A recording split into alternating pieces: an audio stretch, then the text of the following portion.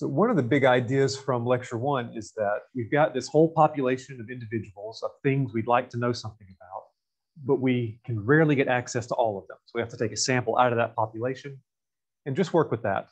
Uh, so lecture two is about how to sample. We're gonna look at six of the most common sampling methods, talk about the pros and cons of each.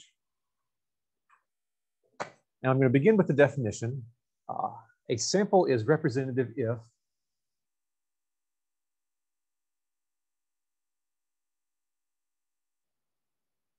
it has characteristics similar to the population. The sample is representative if it's similar to the population, if it's got characteristics similar to the population. The whole point is that the sample should be a good stand-in, a good representative of the population. So you want it to be as similar to that as possible. Uh, so I'm going to show you six sampling methods, and I'm purposely going to start with two bad methods, which not every textbook will cover, but you see them used in real life, and you should know not to trust the data that comes from these bad sampling methods. So the first one is convenience sampling. And the name is pretty self-explanatory. Researchers choose individuals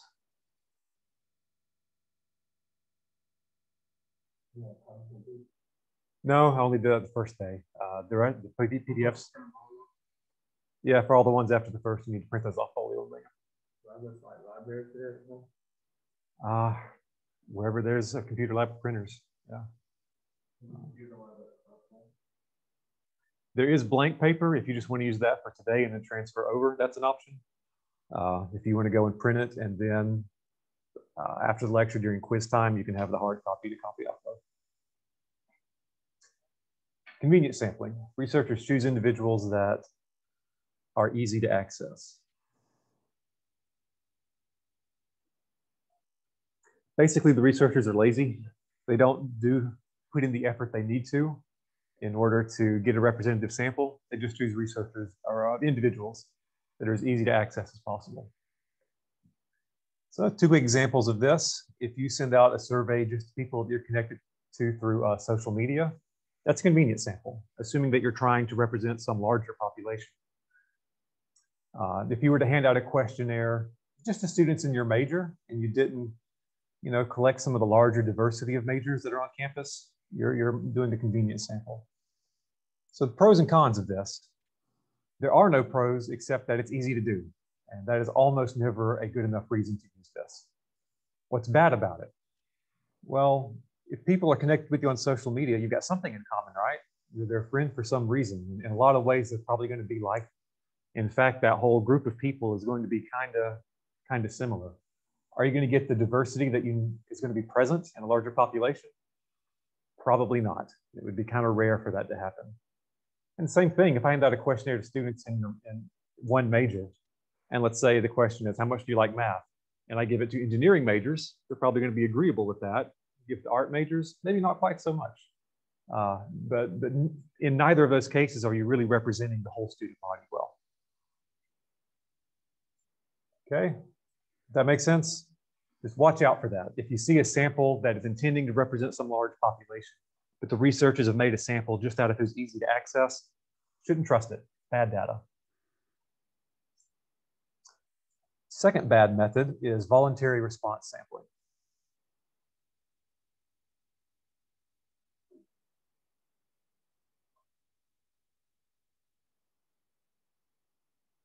Here, the individual self-select into the sample.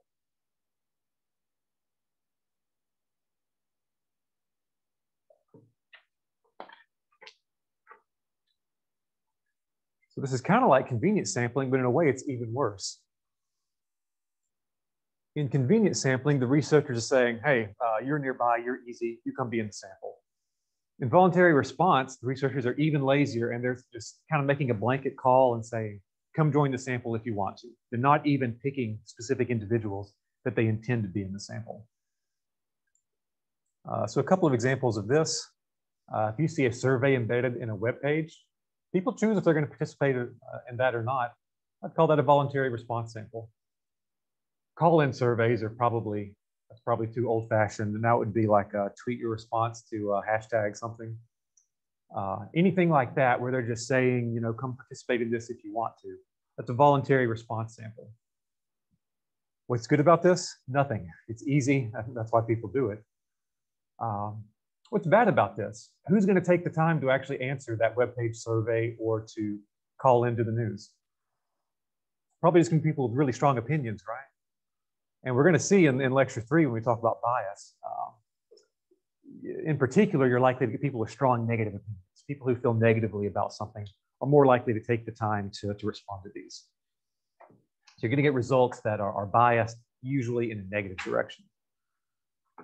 So if you see something that comes from voluntary response sample, don't believe it. You have no guarantee that it's representative of a larger population. It's very likely to be heavy, heavily biased.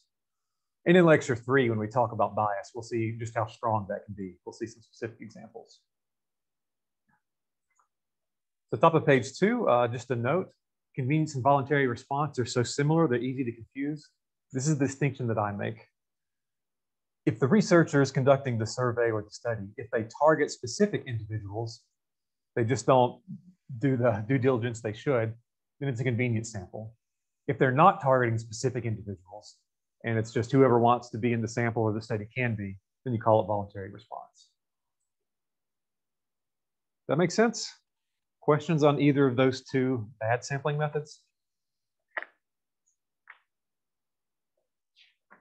Right, just watch out for those. Anytime you see data collected in those manners, uh, should not be trusted. So as we move into the good sampling uh, techniques, it's important to understand that the best sampling techniques are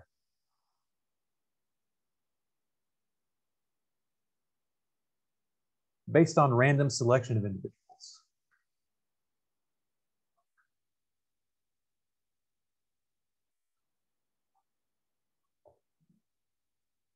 The best sampling methods are uh, based on random selection of individuals.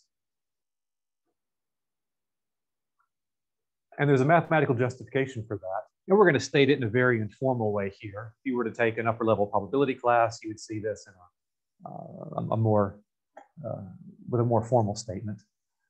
I'm, I'm going to write it this way, the law of large numbers. says that estimates from random samples.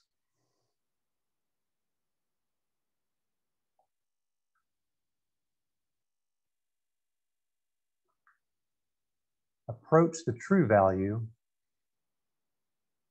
as the sample size increases.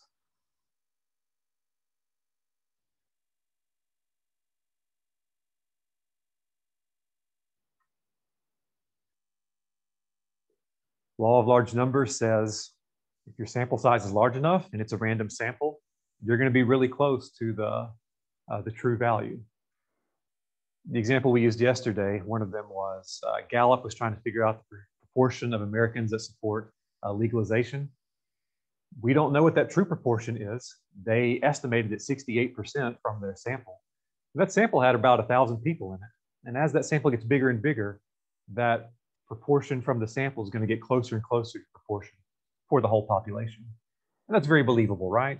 You probably already have a, an intuition for that. If you have really large samples and they're good representative random samples, then you should get good estimates from that. All right, so our, our third sampling technique is simple random sampling. We'll often abbreviate it SRS.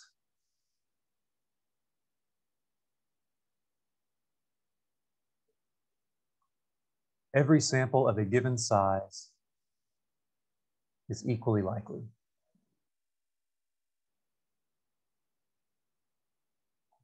In a simple random sample, every conceivable population or sample out of the population of a given size is just as likely as any other sample of that size of population.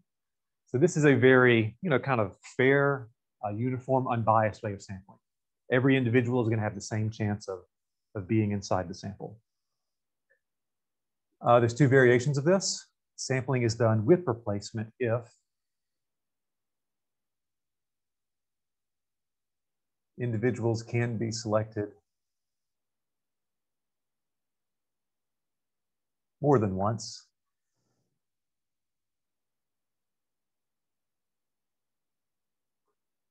Uh, just imagine we're doing a card trick and I shuffle the deck and I have you select a card. Well, if you remember that card and you put it back into the deck and I shuffle it, you pick another one, you might pick the same one. You're sampling out of the deck with replacement. And then it's without replacement if individuals cannot be selected more than once.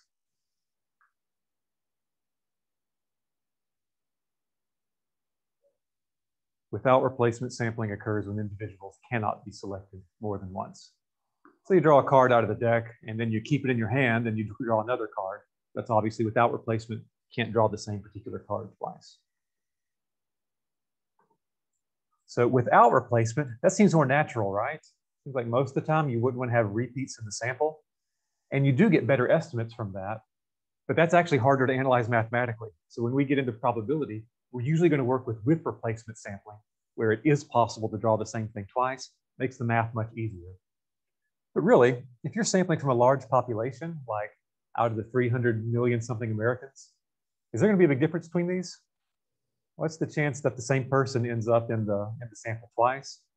Practically zero. So with large populations, doesn't really matter which one you do. You're going to be practically the same. Okay, questions on the definitions, still with me? All right, so how would you implement simple random sampling? A simple but old-fashioned way is uh, pull names from a hat. Put the name of every individual in the population into a hat or a bag or something, shake it around, pull those out. In the old days, before computers were common, you might use a random number table. I'm going to show you something that, that I find kind of funny. On Amazon, there are copies of an old book. I can't believe anybody would pay this much money. Probably nobody does. But this is uh, in the early days of computing. This corporation, Rand, put out a book called A Million Random Digits. And there's a preview. We can look inside. Let's take a look. You scroll past the introduction and come on now. It is literally a million random digits, and that's all it is. And this was an expensive book, and researchers would have used this as a source of random numbers to use for uh, sampling out of large populations. So once upon a time, this would have been very useful. Now it's just here on Amazon for people to come and uh, review bomb isn't the right word, but come and make like humorous reviews of it. Like uh, a million digits, they just used 10. They kept repeating them in different combinations. Don't be fooled. Or the printed version is good. I'd rather have the audiobook version as well. A perfect companion for one's iPod. Like, this is the weirdest Sudoku book I've ever found. Most of the puzzles are filled in and they were all wrong. People put a lot of effort into these. This next guy does like a really serious literary review. And uh, he's a little bit worried about plagiarism and talks about a, a different voice littered throughout the book. And then the crassness of the bedroom scene, and he filters out this part for us. they just keep going. I found this one afternoon years ago. I, I spent a couple hours laughing at it. That's uh, a little bit of nerd humor for you. All right, nowadays, everybody's got access to a powerful computer uh, in their pocket, so you, you use technology. If you just search a random number generator, you can, you can find those online. Uh, I'm going to show you one that's in the spreadsheet, and this will allow us a gentle introduction into the, uh, the spreadsheet. So I'll point this out on Folio. There's a spreadsheet module here. Click on that. It'll open up this spreadsheet, which has some data and a lot of places where I've automated some calculations we're going to do throughout the semester. Um, however, this is read only. I'm the owner of it. I'm the only person that can edit it because if we're all editing the same spreadsheet, that's going to be chaos. So what you're intended to do, go to this on Folio, come under File, go to Make a Copy, that'll put a replica of this in your Google Drive, and then you can edit that one all you like. Okay, so that's the intention. Hmm. One bad thing about that is, is I'm revising my notes this semester. I haven't revised the entire spreadsheet. So you might have to come back and make a copy of this along and along as I keep revising this stuff farther and farther in. So probably plan on doing that about once a week or so. Um, So once you, you've got a copy made, let's look at one of the data sets. You remember the uh, horsepower variable for a set of cars that I used in the visualization in lecture one? That came from this data set, which has uh, 93 cars. And there's also, the data is also from 1993. So it's called the CARS 93 data set. Because of the year, because of the sample size? I don't know, maybe both. Uh, but a lot of cars and then a lot of variables along the top. Let's suppose that we didn't want to work with all 93 cars, but we wanted to take a simple random sample of size four out of this. Here's how you could do that. Along the bottom here, I've got a lot of different tabs for each different kind of calculation that we need to do. I've got a different tab set up. There's so many, it's going to be kind of hard to scroll through them this way. So I'd recommend if you use the, uh, the menu here, you can see all the different sheets that are in the, in the spreadsheet. And let's go to the one here for random number generation. All right, so let's look in this cell here. I've already typed in the function rand between, and then I give 1 comma 93. That's going to give me a random whole number between 1 and 93. And then I copied and pasted that uh, four times so I can get four random numbers. And let's see that these are random. If I make any change in the spreadsheet, I'm just going to put a zero here. You see how all those numbers changed? And then I'll delete that zero. All those numbers changed again. So they really are random. Uh, if I want to actually get those to be static and, and fix a particular sample, I can take those, I'll, I'll copy them using Control C on the keyboard. And then over here, when I paste it, go to paste special and do paste values only. Otherwise, if I do paste, it's going to put that formula. I'm going to get more random numbers that keep changing every time. Let me just change, paste the values. Okay, now I've got four random numbers here. So I'm going to take the 61st, 35th, 42nd, and 10th car of the data set. So let's see which one is the 61st. Scroll on down. Uh, looks like a Mercury Cougar. So I can record that. And then if I wanted to, I could look at the 35th and the others, but you get the point, right? I can use rand between to get uh, random numbers that I can use to select the sample. And then I can collect any data that I need to, any variables uh, from those individuals. Okay, that makes sense. The questions there? Not too hard, I don't think. Let's go back to the notes. All right, what are the pros of simple random sampling? It is simple, uh, but it's effective. According to the law of large numbers, the probability of a representative sample and, and good, accurate estimates uh, will increase with sample size. The only bad thing about this is we require a frame. And a frame is a, a list of all individuals in the population.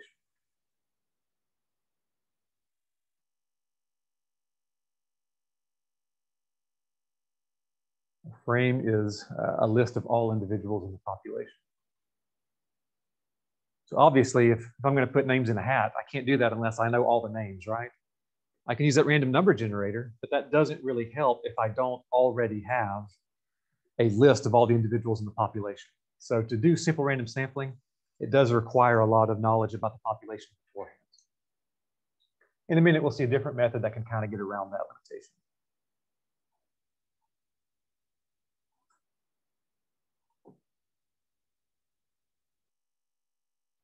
Okay, uh, next method, stratified sampling. These are going to start getting a little bit more complicated now. This one's got two steps. I'm going to partition the population, which means you split it up into non-overlapping groups.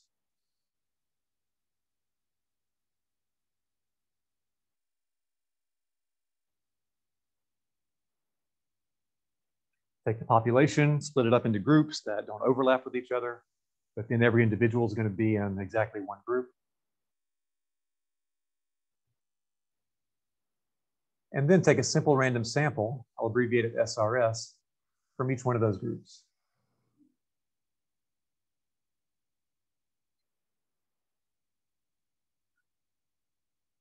Cover the whole population, partition it, split it up into non-overlapping groups, and then take a simple random sample from inside each one of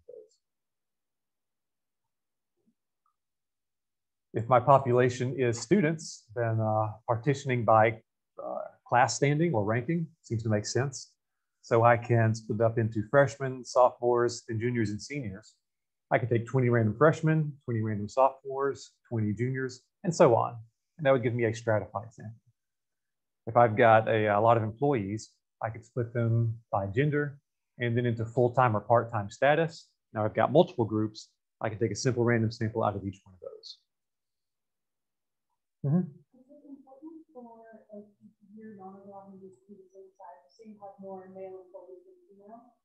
That's a good question. Um, that that can depend on a lot of things. I've seen cases where there was a nationwide survey that was stratified by state, but it was they were looking for some economic variable, and I think this was right after that uh, that oil spill in the Gulf, and so they were particularly curious about the economic impact on like Louisiana, Mississippi. So they actually increased the sample size in those states so that they could get better estimates there. So there's some cases where maybe you care about a more accurate estimate in some place more than others, you might increase that. But then when you average things back together to get the nationwide picture, now you've overrepresented those states. So you would need some way to like play down their influence in the overall average. We got an example of that in just a second. Now that, that's a good question. Uh, there are reasons why you might not want equal, equal groups. All right, uh, what's good about this? This ensures that your significant subgroups are represented, which will increase the probability of an accurate estimate. And you can uh, do a more complex analysis too. We can now do comparisons between uh, freshmen and sophomores and so on more easily. All right, what's bad about this? You want the proportions of subgroups in the sample to be similar to proportions in the population. If they're not, then you need to be uh, you need to reweight them. And here's an example of how you might do that calculation. Let's suppose you stratify by classifying students into just two groups, either undergraduate students or graduate, master's, doctorate. You randomly select 20 of each, so equal number of undergrads and graduate. You ask them how many miles per week they drive to the campus. The average for undergrads is 12 miles per week. The average for graduates is 18 miles per week. But you now need to combine these back together into an overall estimate for the entire student body, right? Is it as simple as averaging 12 and 18?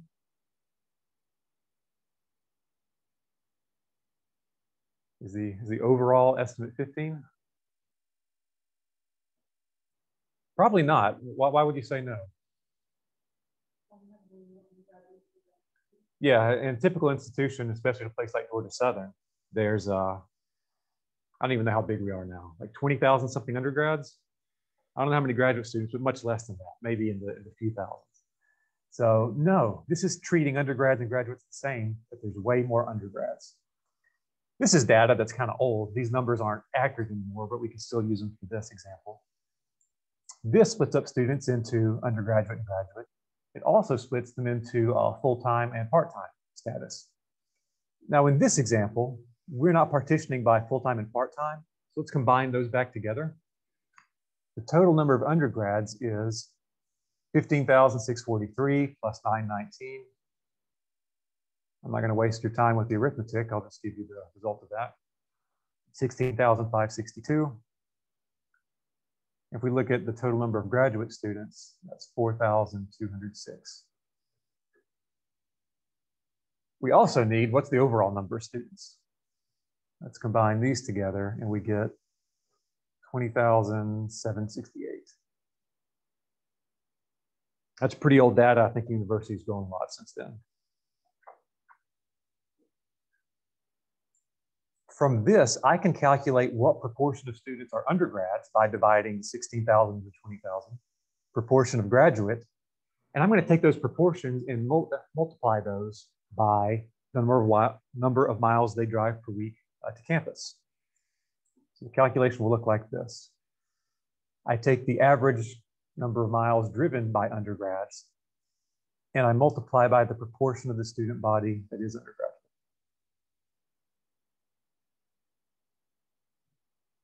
I'm going to combine that. I'm going to add that to the 18 which is the average for the graduate students. But then I multiply that by the proportion of students that are graduate students.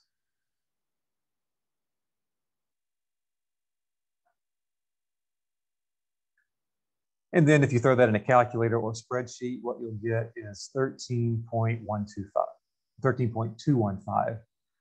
Notice I'm thinking about using WeBWorK. I'm thinking about five significant digits there. And that's the right answer. And that makes more sense. It's closer to 12 than to 18. So I agree with that. All right, that calculation makes sense. We're going to come back and do these uh, weighting kind of calculations more later in the class uh, in the second unit.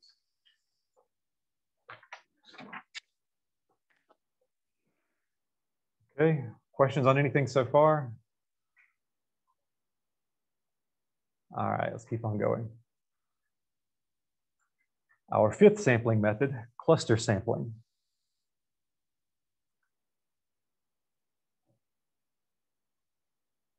First step is we partition the population. So we'll have several different groups.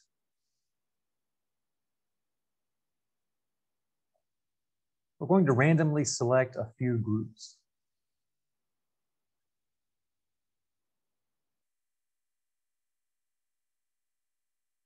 And then we're going to sample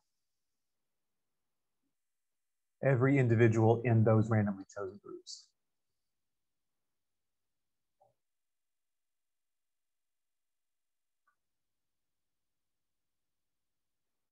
Partition your population. You've got these groups now. Randomly select a few of those groups. And then if a group is selected, you take every individual that's, that's in that group. So your individuals are coming in groups that are coming in clusters. Like if you're going to pull grapes off a grapevine, you're not going to pull off individual grapes, right? No, you're going to find a cluster and yank that whole thing off at once. Uh, your cluster sampling grapes. A couple examples of that. We could take all the students in the building right now. We could partition them according to what room they're in, randomly select a few rooms, and then give a test to all the students that are in those classrooms. Now the classrooms serve as, as clusters. This is very common in geographical situations. If I've got a city and I can partition it into blocks or streets, I'll go uh, select a few blocks or a few streets and then survey all the citizens on those blocks or streets. Blocks or streets serving as, as clusters. All right, uh, what's good about this? Well, it's a little bit like convenience sampling, right? It, it's more cost effective. But since you've got multiple clusters, uh, you're now getting some of that diversity that you need to get a good representative sample.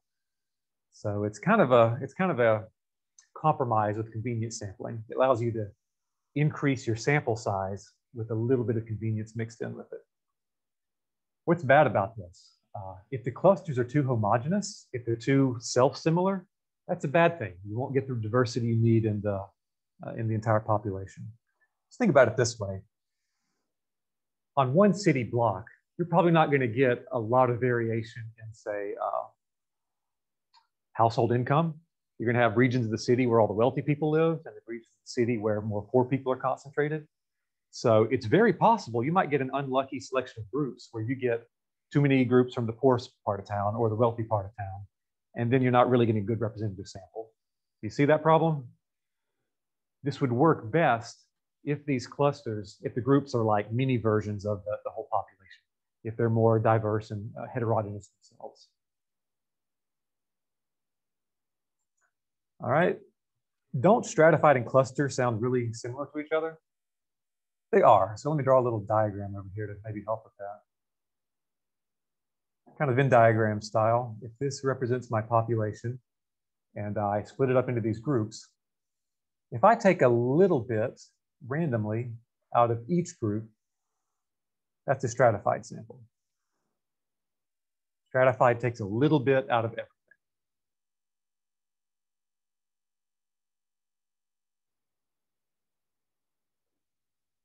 Whereas cluster, you start off the same way, you split up into groups. But maybe I choose the first group and the third group. I'll take everything in the first group and third group and then nothing out of the second and fourth. So cluster takes all out of a little bit.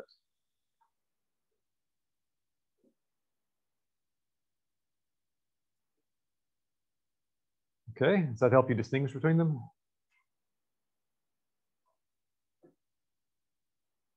Okay, uh, here's our last one, systematic sampling.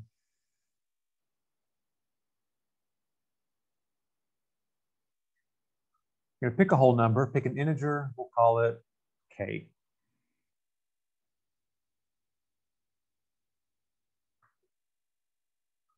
Next step is you arrange the individuals in the population in some order.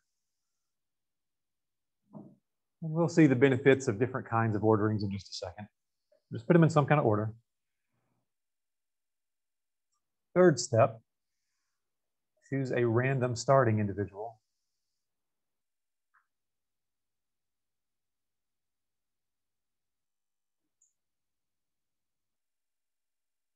Uh, between 1 and k minus 1.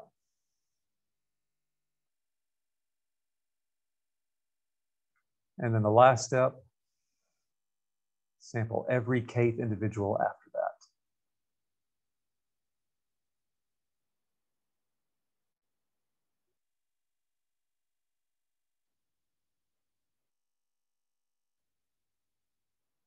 That's the hardest one to describe verbally, it takes the most words. Pick a whole number k, arrange your individuals in some order. Choose a random place to start from the first up till the k minus first. So it's something kind of near the beginning. And then you sample every kth individual after that. Skip k minus one, sample. Skip another k minus one, and you sample. Uh, random starting, random starting individual.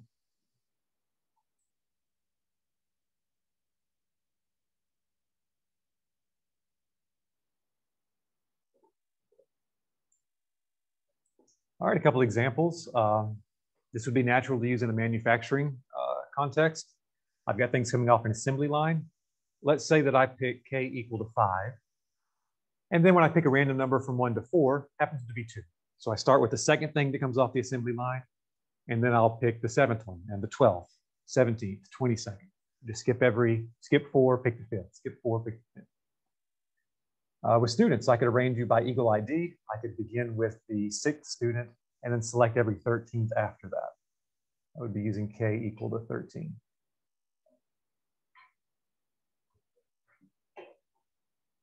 All right, uh, what's good about this? Well, it depends on the order. How are you putting your individuals in order? If that order is random, this is a lot like simple random sampling, but you don't have to have a frame. Imagine that I manage a museum and I want to take a sample of people that are going to come into the museum during the day. At the beginning of the day, I've got no idea who's going to show up, right? I can't make a list of the individuals. I don't have a frame. I can't do a true simple random sample. But I can just use the order that they walk through the front doors. And I can pick the third person and then the sixth one after that, and the sixth one after that, and the sixth one after that. That's basically random, right? It's a systematic sample that uh, has a lot of the qualities of a simple random sample. What if the order is sorted? What if I'm trying to make, uh, let's say, make a study group after the first exam, and I take students and I rank them by their exam score? Well, if I do a systematic sample, I'm going to get some students who didn't do so well on the low end, some in the middle, and then some on the high end. Uh, that will ensure that it's kind of like a stratified sample. I'm, I'm ensuring some representation from all parts of the population. Okay, now, how can this go wrong? Well, how do you pick this, this value k? If you pick a value k that's really big, like 100, and you're skipping 99 individuals before you pick another one in the sample, you might end up with a really small sample. On the, the flip side of that, if k is too small, then you're not skipping many. You're in there with a really large sample, and maybe you're spending resources on a larger sample than you really need. So here's a rule of thumb for how to pick k. If you can estimate the population size as capital N, and you want a sample of size lowercase n, use k equal to capital N over lowercase n. But that's not always going to be a whole number, and k only makes sense to be a whole number. If this was any other math class, uh, we would just round this to the nearest whole number. we want to use a different strategy here. Do you think I would always want to round this up or always round this down?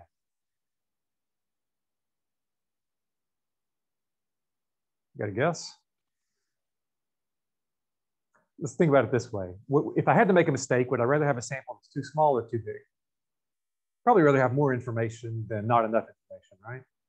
So would I rather have K that's maybe a little bigger than necessary or a little smaller?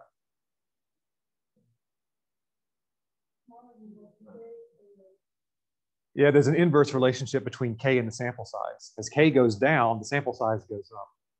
So we're always going to round this down.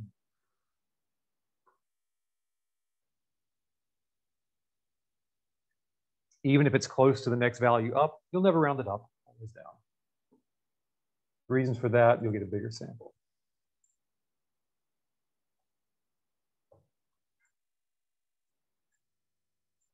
All right, so just real quick example of that. In the CARS data set, uh, there's 93 of them. If I treat that like a population,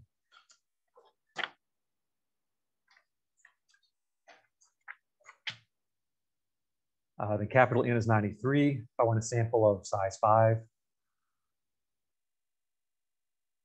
take k equal to n over n, uh, 93 over 5,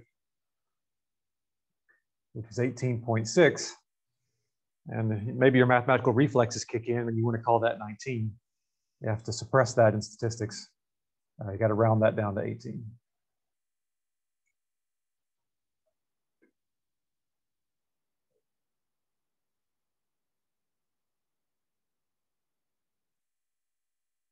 All right, and the final thought, we've seen six different sampling methods. Uh, which ones are good, which ones are bad, pros and cons of each. Uh, but somewhere in this, we need to fit anecdotal evidence, which is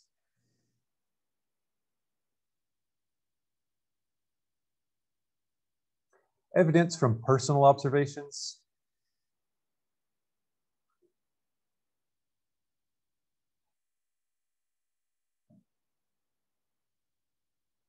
collected in a casual and non-systematic manner.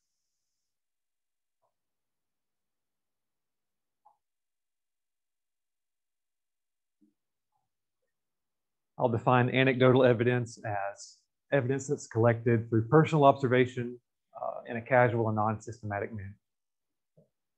And, and, what happens is you're gonna you're gonna remember the things that were the more memorable. Usually the things that are more unusual and maybe uh, seem to uh, buck the trend or uh, not follow a pattern.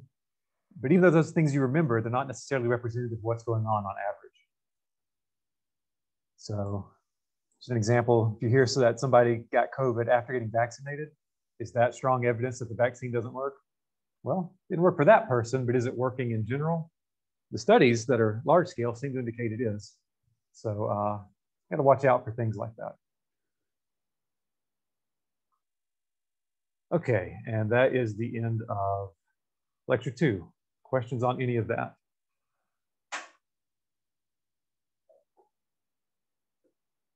In the quiz questions, you're mostly asked to uh, look at a verbal description of a sampling method and then try to determine which kind it is. I'm going to stop uh, recording and then we'll take maybe 10, 15 minutes to work on this.